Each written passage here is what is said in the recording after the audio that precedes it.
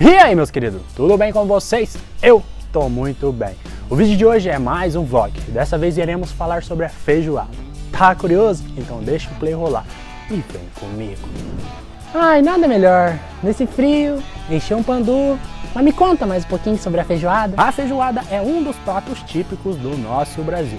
E ela é formada por feijão preto e partes do porco. Aí também não pode faltar uma farofinha e uma boa saladinha de couve. Realmente. E foi os escravos africanos que trouxe, né? Bom, essa informação é falsa e folclórica.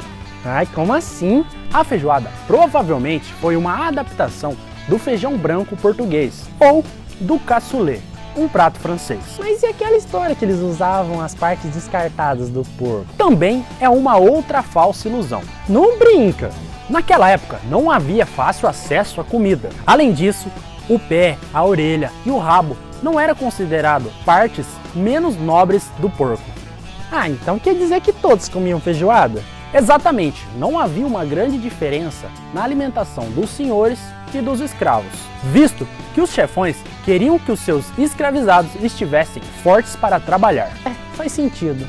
De fato, a feijoada é um grande prato. De fato, pois até mesmo Vinícius de Moraes fez um poema sobre a feijoada. Melhor do que nunca, este poeta, segundo a manda poética, envia-lhe a receita poética de sua feijoada completa.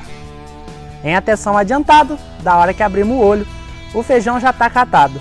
Nos espera feliz de molho. E se você ficou até aqui, não esquece de deixar o seu like, de se inscrever em nosso canal Cozinha da Zoeira. Além disso, curta nossa página no Facebook, siga a gente no Instagram e compartilhe este vídeo. E fora isso, vem comigo!